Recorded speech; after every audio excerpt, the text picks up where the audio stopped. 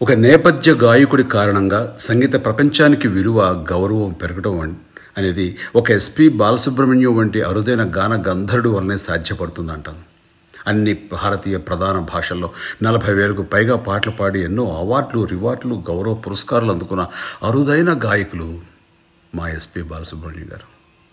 ఇక ఆయనతో నా వ్యక్తిగత అనుబంధం గురించి చెప్పాలి అంటే హీరోగా నా కెరీర్ ప్రారంభం రోజు నుండి చెప్పాలి. ఆయన నాకు పాడిన మొదటి పాట నా రెండవ సినిమా మనూరి పాండవుల్లో.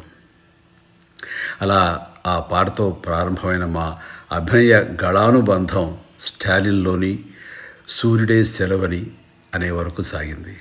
ఇక ఈ రెండు చిత్రాల మధ్య దాదాపు ముప్పై సంవత్సరాల పాటు సాగిన మా కాంబినేషన్లో ఎన్ని హిట్ సాంగ్స్ వచ్చాయో ప్రత్యేకించి నేను చెప్పనక్కర్లేదు. నా చిత్రాల్లో మగధీరుడు చిత్రానికి ఆయన మ్యూజిక్ డైరెక్షన్ చేశారు. అలాగే ఇంద్ర సినిమాలో ఒక సన్నివేశంలో సరదాగా నాతోటి ఆయన స్క్రీన్ షేర్ చేసుకున్నారు. అలా ఆ- టైము అది కాశీలో అది చాలా చక్కటి అనుభూతి. ఓ ఎన్నెన్ని విషయాలు మాట్లాడుకునేవాడు ఇక నేపథ్య గాయకుడిగా నాలుగోసారి నేషనల్ అవార్డు తీసుకుంది మా సొంత బ్యానర్ అంజనా ప్రొడక్షన్స్ మీద మేము నిర్మించినటువంటి మా ఫస్ట్ ఫిలిం రుద్రవీణ చిత్రానికి. అది అలా తీసుకోవడం అనేది ఆయనకి మా చిత్రం ద్వారా బెస్ట్ సింగర్ అవార్డు రావడం అనేది నాకు ఎంతో సంతోషం కలిగించే విషయం.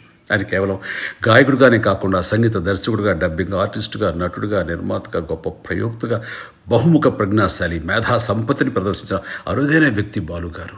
సంగీత ప్రపంచానికే గర్వకారణమైన ఆ గాన గంధర్వుడి జయంతి సందర్భంగా ఆయనకు నా ఘన నివాళి.